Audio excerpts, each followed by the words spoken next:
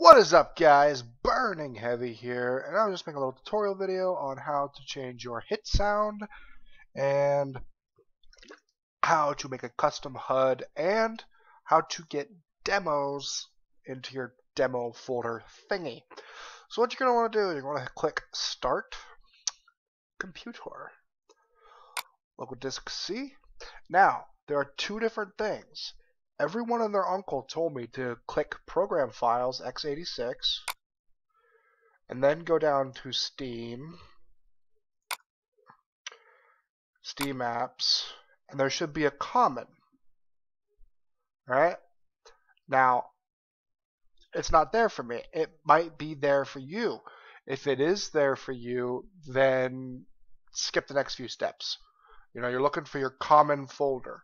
Okay? But for me, that's not where it is, even though that's where everyone told me it was. Where it is for me is here at Steam.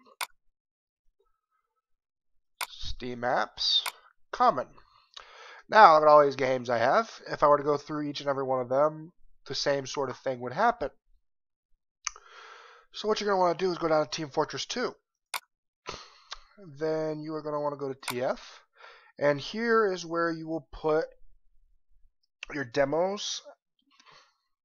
And I believe that might be where you put maps as well, but that is where you put your demos to be able to watch them on your demo finder. Now, you're going to want to go to custom. Now, if there is no custom folder, you're going to want to create a custom folder because I'm pretty sure you have to create this, but it might already be there.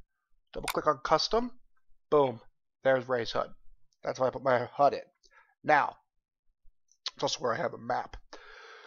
So this is where you put the maps. Now, if you want a hit sound, it's a bit more complicated. You then need to make a folder called my underscore custom underscore stuff. You gotta make it like that. And you're gonna make sound, UI, and there's the hit sound. Okay?